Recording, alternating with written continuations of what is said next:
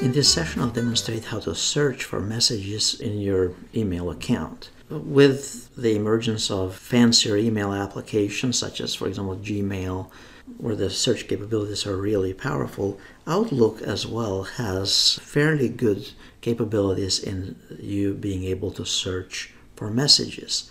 And the easiest to search for the messages is by going to your account, whichever account you're using here, and then notice you have search current mailbox. Now this will search everything in that mailbox. So you can change here to search only the current folder or subfolders and such. So let's search for the current mailbox. You probably noticed I have a lot of uh, Lowe's marketing stuff here. So let's say type Lowe's here and then hit enter. And all the messages from Lowe's will be displayed here. Or let's say I wanted the word report and then this will display the messages that have the word report in it. Now notice that there is all kinds of other stuff here. That's because there are some other additional reports in there.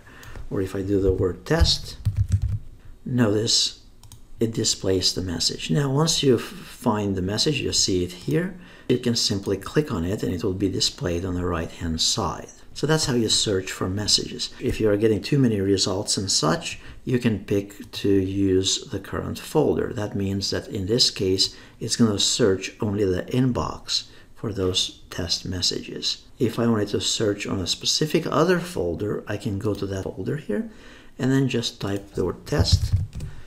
And notice there are two test messages for the current folder under the sent. If for some reason your search results are not working quite as well, start typing in the search area.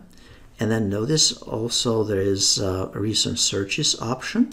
And there are additional options here for defining the locations that you want to search and then the advanced find option where you can specify additional parameters, whether it has specific keywords in the title or from a specific individual and things of that nature. So the search capability, it's actually quite powerful in Microsoft Outlook. If for some reason Outlook is not doing the search properly and such, then it could be potentially uh, related to the indexing status here, the indexing option, that you might have to rerun the indexing in Outlook.